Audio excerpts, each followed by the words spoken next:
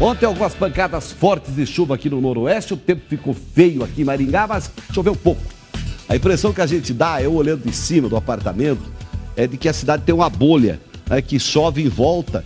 E aqui em Maringá, apenas em alguns pontos bem isolados, mas pelo tempo feio que se armou ontem, parecia que ia cair o mundo, não caiu chuva nenhuma. Agora vamos ver como vai ser o carnaval do povo. Chove ou não? A chuva que caiu na região de Umuarama ontem, no fim da tarde, foi intensa. Em Autônia, por exemplo, o pé d'água causou pequenos pontos de alagamento. De acordo com o Corpo de Bombeiros, a equipe foi acionada para ajudar na retirada de uma árvore de grande porte que tombou sobre a rodovia entre Autônia e o distrito de São João. Hoje, na região de Umuarama, de acordo com o Instituto Cimepar, podem ocorrer pancadas isoladas de chuva novamente.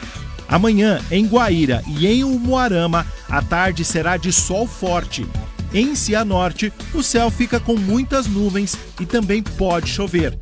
Em Goiôerê, a previsão é de dia ensolarado. Em Campo Mourão e em Paranavaí, o sábado terá manhã de céu claro, mas à tarde também pode chover. Em Maringá, o carnaval deve ser chuvoso, de acordo com o Instituto Cimepar. A previsão para hoje, amanhã e domingo é de tempo parcialmente nublado, com possibilidade de pancadas de chuva, principalmente na parte da tarde.